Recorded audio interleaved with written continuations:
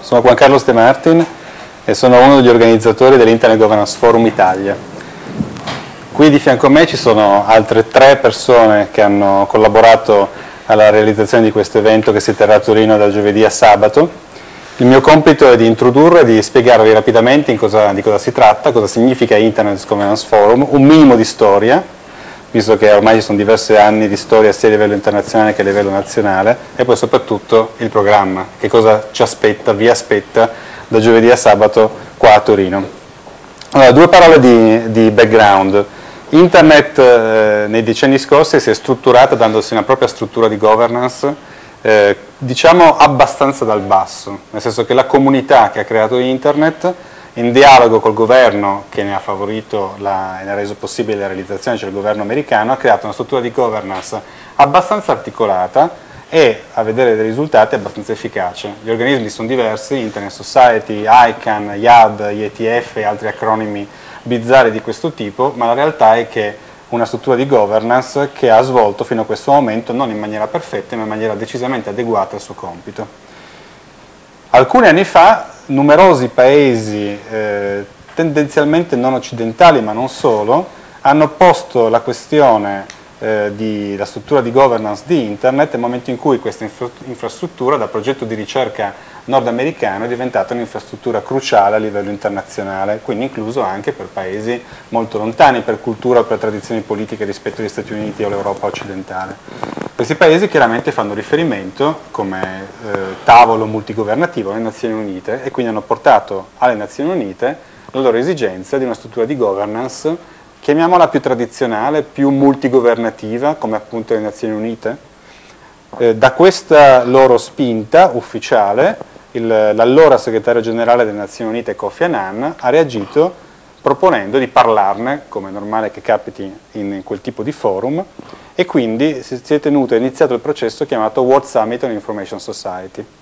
Di questo World Summit on Information Society forse alcuni di voi ricorderanno l'edizione del 2005 che si tenne a Tunisi con una delegazione italiana piuttosto nutrita e quel World Summit on Information Society fu considerato, molto, oltre che molto frequentato, un successo di un nuovo approccio alle questioni multigovernative, c'è un approccio, usando una parola che nel frattempo è diventata usurata, multi-stakeholder, che significa tutti hanno diritto di parola, non soltanto le delegazioni ufficiali dei governi. Quindi a, a Tunisi andarono organizzazioni della società civile, individui, ovviamente anche governi, ehm, non soltanto le delegazioni ufficiali.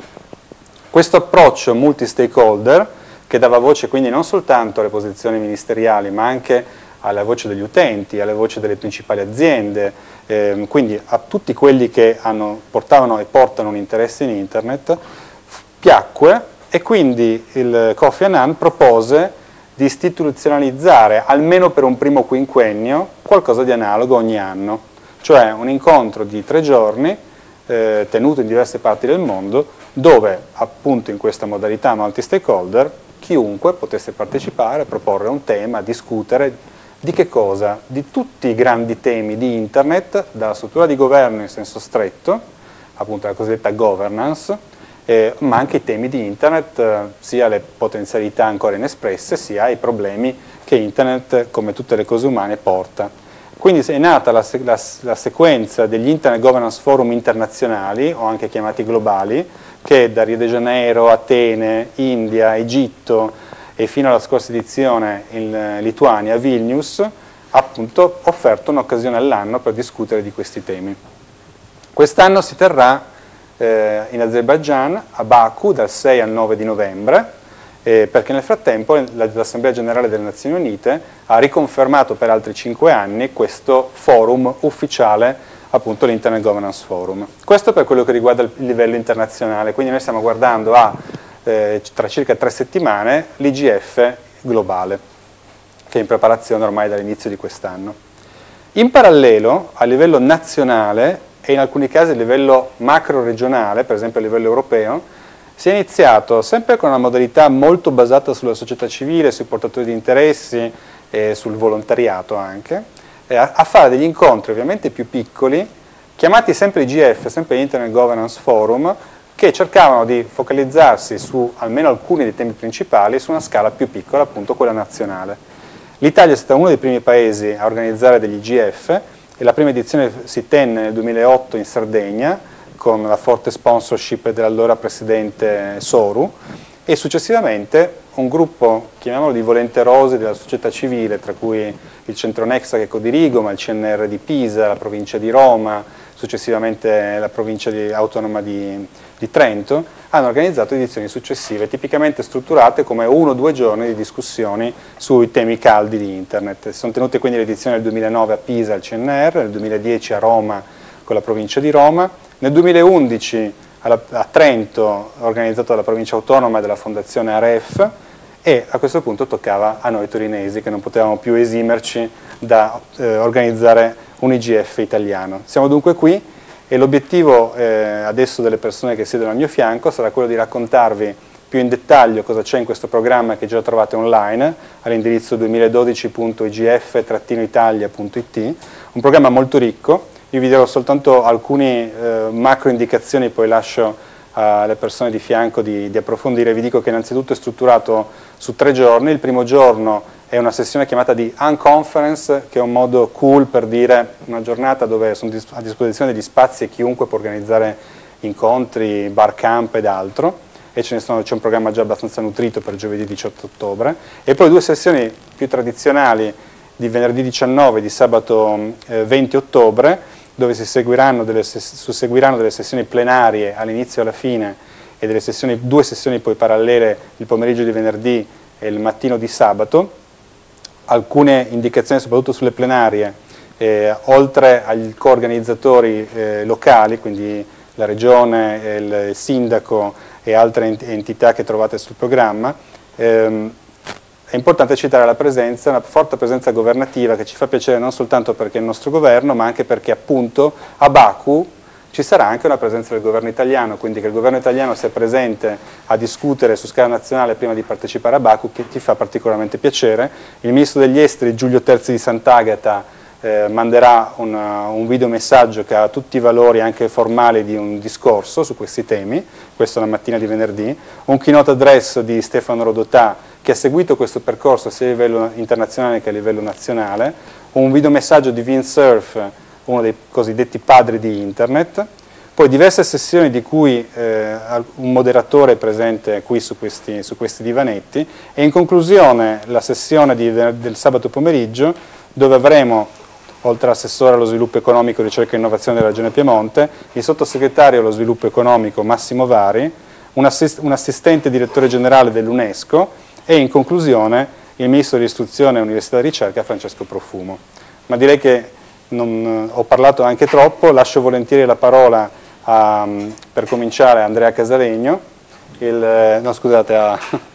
a, Giorcelli che è il direttore del, del D-Topics, che tra l'altro ci sta anche ospitando in questa, in questa sede da cui trasmettiamo questa conferenza stampa. Prego, a te la parola. Grazie. Buongiorno. Eh, e per, per noi diciamo, grande, un grande onore diciamo, eh, contribuire e partecipare a, a questo forum. Eh, Topics del, dal 2006 ha avviato un programma eh, denominato Development Program che aveva proprio, e ha tuttora l'obiettivo eh, di supportare lo sviluppo e l'innovazione di Internet sul territorio. Eh,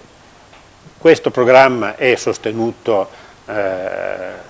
principalmente dalla pubblica amministrazione, ma anche da eh, grandi player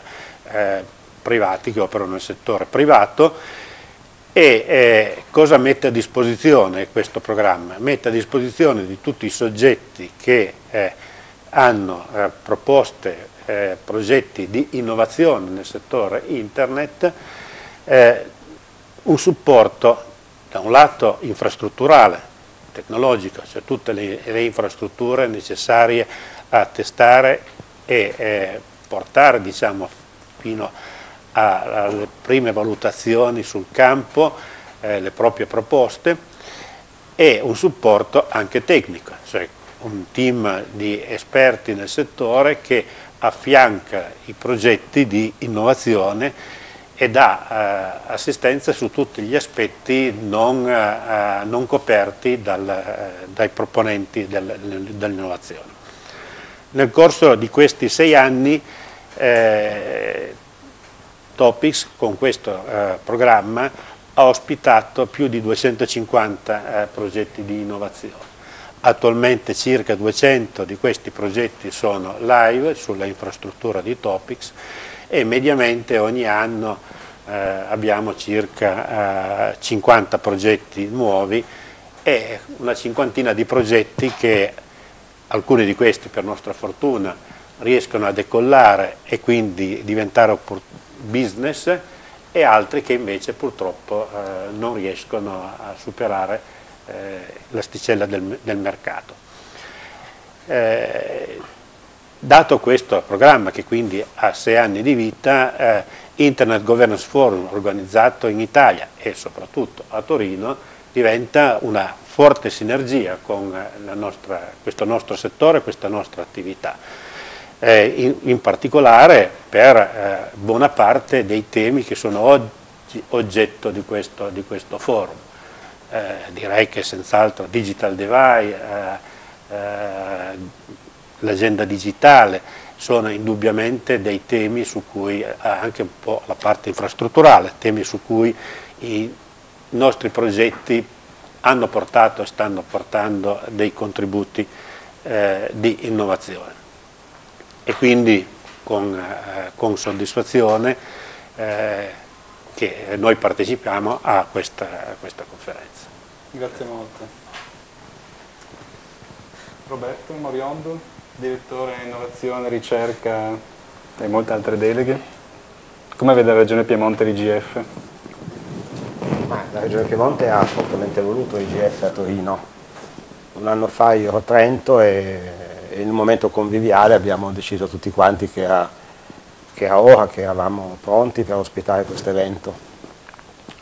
Un evento che per me per prima cosa raccoglie in un posto fisico delle persone che quotidianamente si frequentano sulla rete grazie a internet.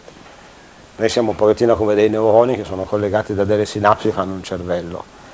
Ogni tanto, e questo lo possiamo fare quotidianamente grazie a internet, ogni tanto ritrovarci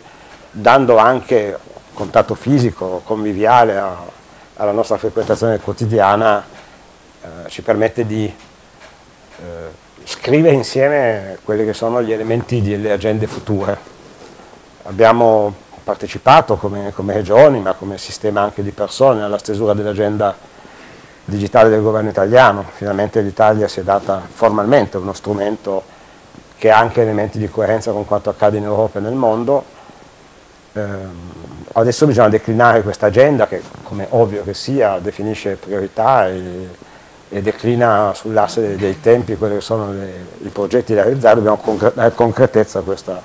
a questa, agenda, per cui secondo me uno degli elementi eh, su cui potremo concentrarci in questi tre giorni è proprio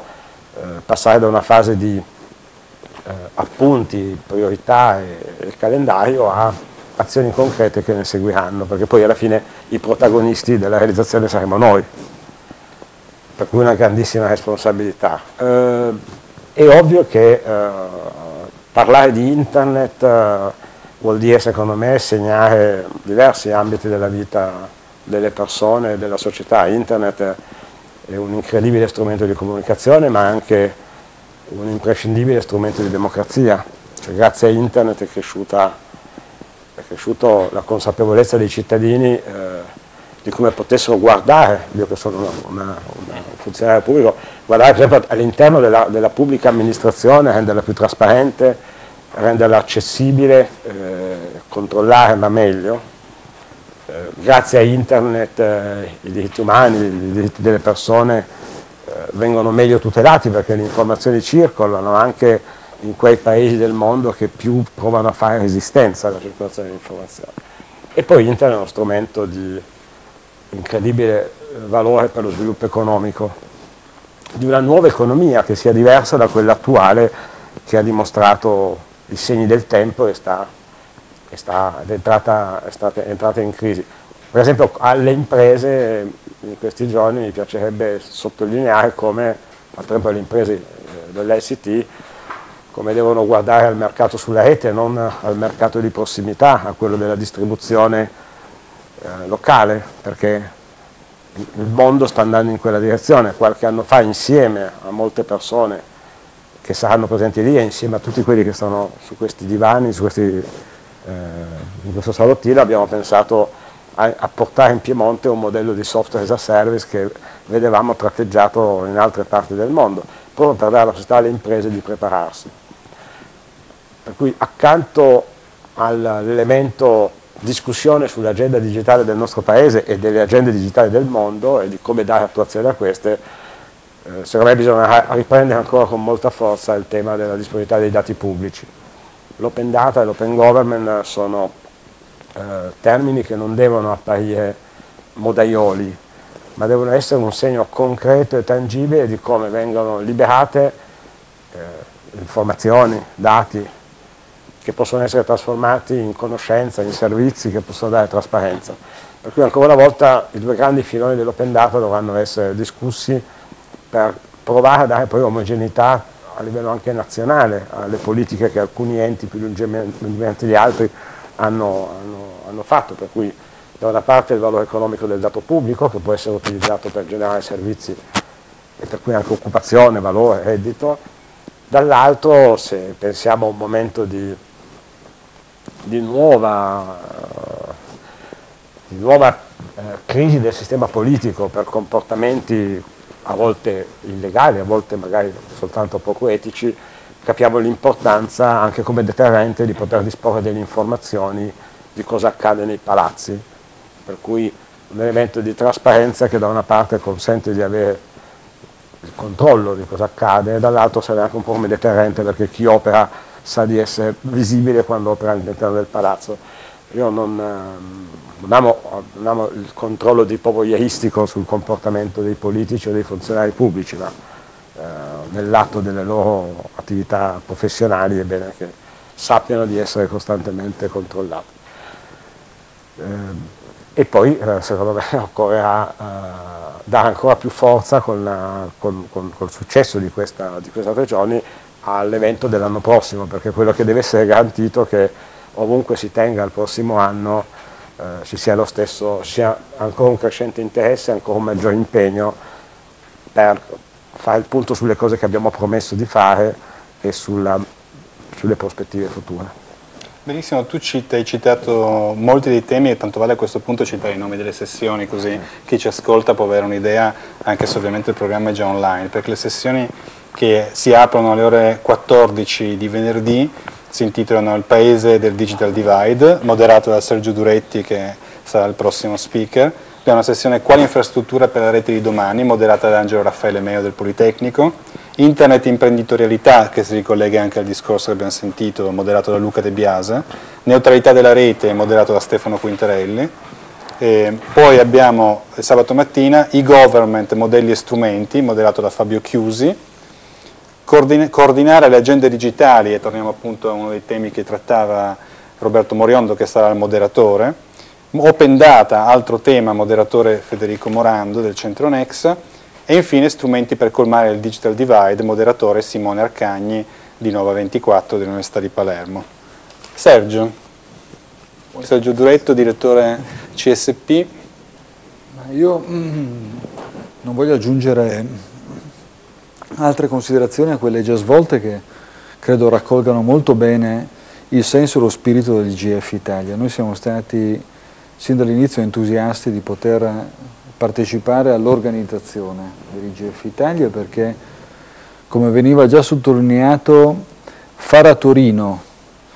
il più importante evento dedicato alla governance di Internet significa anche ricordarci ed avere consapevolezza di quanto internet sia nel DNA di questa città e di tante delle strutture che quotidianamente operano in questa città. Eh, giustamente Silvano ricordava dire, quanto sia importante il lavoro di Topics per lo sviluppo di internet, io come direttore del CSP, anche se allora il CSP si chiamava Centro Supercalcolo Piemonte, non posso non ricordare che il primo porting su internet del televideo lo fece proprio il CSP nel 1995, stiamo parlando di 17 anni fa e sembra preistoria, ma questo solo per dire di quanto internet dai nostri diversi punti di vista, chi come CSP un organismo di ricerca, chi un NAP, un Neutral Access Point come Topics, chi una pubblica amministrazione come la Regione Piemonte, chi come il Centro Nex e altri soggetti che operano abbiano ormai internet nel loro DNA e che questo non sia soltanto il presente ma sia soprattutto il futuro. L'altro aspetto che vorrei fortemente sottolineare è che Così come giustamente ricordava Juan Carlos nella sua introduzione sulla natura estremamente aperta con cui è nato l'Internet Governance Forum, anche la struttura di questi due giorni, di questi tre giorni a partire dall'Unconference che si svolgeranno presso l'Environment Park qui a Torino sono caratterizzati da una forte openness, nel senso che nelle sessioni ci saranno degli interventi che svolgeranno una funzione essenzialmente di stimolo, e cioè di messa a fuoco di quelli che sono oggi temi più rilevanti relativi al futuro di Internet, ma ci sarà soprattutto un grande spazio per coloro che vorranno contribuire anche nelle sessioni, quindi non stiamo parlando di un pacchetto chiuso nel quale chi partecipa ascolta, ma stiamo parlando di un grande momento nel quale tutti abbiamo la possibilità di partecipare, di confrontarci, per poter mettere sempre meglio a fuoco e soprattutto portare legna per il futuro della Internet che così come anche le ultime vicende nazionali dimostrano, sono sempre di più, e di questo dobbiamo essere ben contenti, considerate un'infrastruttura per la crescita del paese, per lo sviluppo del paese e non più semplicemente una questione riservata ai tecnologi. Sì, hai fatto bene a ricordarci dov'è questo Internet Governance Forum, che non l'avevamo ancora detto, quindi all'Environment Park nella zona centro-occidentale della città. E mh, sottolineo ancora un paio di altre cose, poi magari ci sono dei commenti o delle domande provenienti da, da, chi ci sta ascoltando, il carattere multidisciplinare, quindi non è un incontro per specialisti technology, chiaramente c'è una presenza di, di technology, ma anche c'è una presenza di eh, figure eh, intellettuali molto diverse tra loro, da imprenditori a sociologi, a molte altre figure eh, che trovate nel programma. Un altro aspetto è proprio l'apertura, lo ripeto perché ci teniamo a sottolinearlo, questa è un'occasione non soltanto per fare un classico convegno unidirezionale, ma anche per sentire la voce di chi nelle sessioni potrà iscriversi a parlare e fare dei brevi interventi, brevi soltanto per banali motivi di tempo, chiaramente non per cattiva volontà, in maniera tale da contribuire alla discussione. E poi l'ultima osservazione che farei prima di fermarmi per chiedere se ci sono delle osservazioni è che la speranza, che direi che a questo punto è qualcosa di più di una speranza, è che alla fine di questi tre giorni si possa fare un tentativo di sintesi eh, di quali sono le principali istanze che l'Italia, come imprenditori, come società civile, come governo, vorrebbe che fossero eh, rappresentate a Baku circa due settimane dopo. Questa, la, la, la, scelta dei tempi, come capite, è stata deliberata, l'abbiamo fatto apposta in questo periodo proprio per arrivare a Baku eh, sufficientemente vicini a Baku e non troppo lontani e la presenza governativa ci fa ben sperare che effettivamente la presenza italiana ufficiale a Baku porterà, se non tutti, almeno alcuni degli spunti che emergeranno in questi tre giorni. Mi rivolgo a questo punto a, come si dice in questi casi, alla regia, chiedendo se ci sono domande, indicazioni. Qualcuno propone il tema della gratuità dei dati pubblici. No, il punto di vista di Regione Piemonte ma di gran parte della pubblica amministrazione italiana per fortuna è che il dato trattato dalla pubblica amministrazione debba assolutamente essere rilasciato in maniera gratuita se questo non ha costi aggiuntivi per la pubblica amministrazione nel momento in cui lo tratta. Per cui il dato pubblico deve essere visto come una fonte energetica rinnovabile, mica come una, una miniera, come un giacimento, perché è neutrale, precompetitivo e non, viene, non si consuma se viene utilizzato in questo senso la Regione Piemonte ha assunto atti deliberativi e, e, una legge regionale, scusatemi se parlo di burocrazia una, sulla rete che è sempre,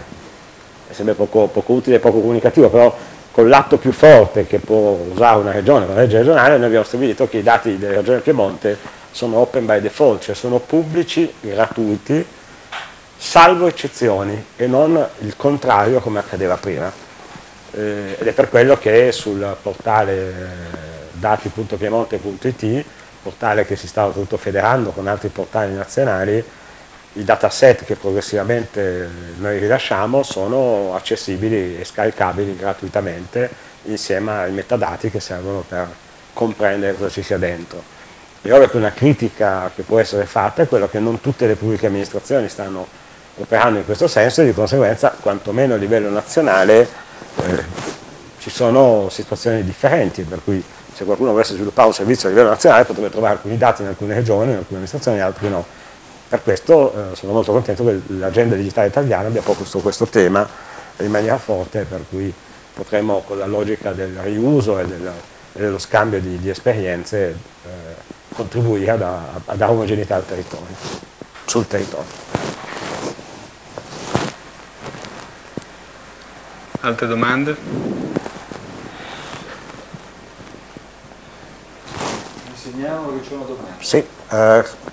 cosa si intende per neutralità della rete, cosa si intende con neutralità della rete e che valore politico ha? Allora, chiaramente, chiaramente la risposta sarebbe venite a sentirci alle 16 in auditorio Kyoto all'Environment Park eh, venerdì pomeriggio. In due parole però il tema della neutralità della rete è un tema effettivamente molto importante e che è all'ordine del giorno ormai da, da anni letteralmente, nel senso che si tratta del principio che non è una legge positiva, è un principio che finora è stato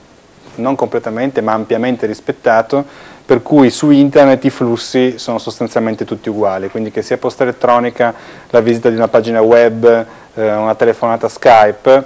quei bit, quei pacchetti sono trattati allo stesso modo. Perché è importante? Perché questa neutralità, questa non discriminazione ha permesso a internet di essere una straordinaria piattaforma di innovazione. In quale senso?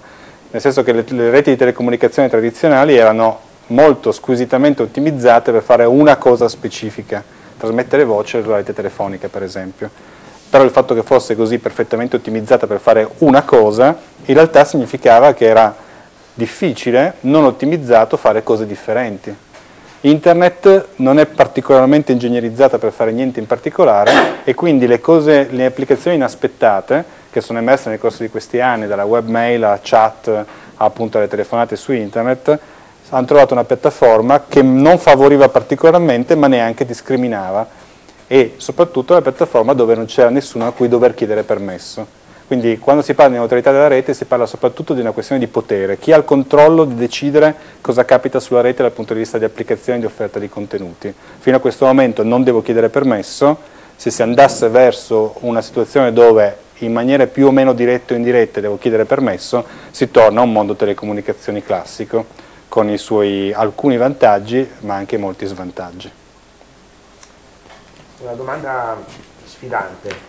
Cosa deve avere una città per definirsi smart? Che si candida a rispondere? Abbiamo un pubblico amministratore.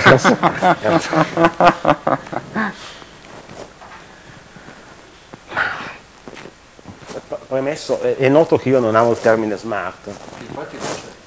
Che infatti non c'è. Eh, questo termine non, non è stato usato. Sicuramente una città è intelligente o diversamente stupida se sfrutta al meglio quelle sono le potenzialità delle tecnologie di internet. Io tutte le mattine parto da un punto che è casa mia per raggiungere un altro punto che è il luogo dove lavoro. Se fosse disponibile un servizio che mi arriva con un sms che mi dice che forse è meglio che quel giorno io cambi percorso perché ci sono dei lavori stradali, informazioni che sono ovviamente custodite da qualche amministrazione, piuttosto che uno sciopero, una manifestazione eccetera, eviterei di perdere mezz'ora ad attendere che si liberi il traffico. Similmente può accadere per spostare le merci che hanno tempi di conservazione diversi, per cui il fresco è diverso dall'abbigliamento, eccetera le informazioni su dove trovare una bicicletta e dove poterla, poterne, dove poterla rilasciare in maniera da ottimizzare il tuo percorso. Sì, no, eh, mi dicono che c'è già, cioè la somma di tante cose che possono migliorare la qualità della vita delle persone rende una città essere vicina al concetto di smart. Eh, io sono convinto, ma non perché siamo in prossimità dell'IGF, che internet è una piattaforma sul quale costruire tutti questi servizi. Eh, vorrei che il binomio dati più, più rete fornissero agli amministratori delle città, ma non solo delle città, ma dei territori, perché non vorrei che poi alla fine fossero smart le città, ma non fossero smart i territori, per cui si venisse a creare una nuova forma di divario tra le persone che abitano nelle, nelle grandi città e quelle che abitano nei paesi, nei territori. Allora, la somma di, di, questi due strumenti, di queste due risorse, il dato, strumenti, la, la rete, dovrebbe permettere agli amministratori di costruire molto velocemente eh, dei territori intelligenti. E poi grazie a internet dovrebbe esserci qualche altra domanda, vedete c'è qualcosa di molto smart è il modo in cui stiamo gestendo questa conferenza stampa. Sottoscrivo, sottoscrivo quanto ho detto, senso che un territorio smart è un luogo nel quale tutti i dati che la pubblica amministrazione ha a disposizione, ma anche tutti i dati che sono raccolti in quel territorio vengono dire, utilizzati virtuosamente grazie ad una rete per poter migliorare complessivamente la qualità di quel territorio. La qualità delle persone, ma non soltanto la qualità delle persone, la, qualità della vita delle persone, anche la qualità di ciò che si studia, la qualità di ciò che si produce, la qualità di, dei servizi voglio dire, che abitualmente noi siamo utilizzati, che utilizziamo. Diciamo che però questo è un tema, voglio dire, questa è una grande sfida tecnologica se la vediamo chiamata in un altro modo, cioè se la chiamiamo come più appropriatamente in, in senso tecnologico viene oggi chiamata la sfida dell'internet delle cose, cioè il fatto che oggi sempre di più la rete collega